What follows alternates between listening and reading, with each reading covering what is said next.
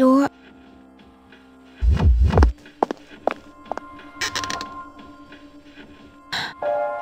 Surface body temperature reads 98.7 degrees.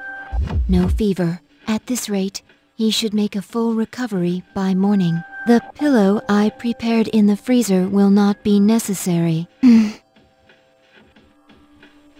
I mustn't stay too long or Yukari-san will reprimand me again.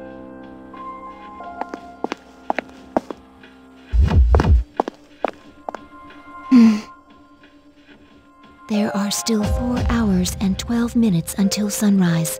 Hmm, I need only sneak out again before morning. I will keep watch over him for a little longer.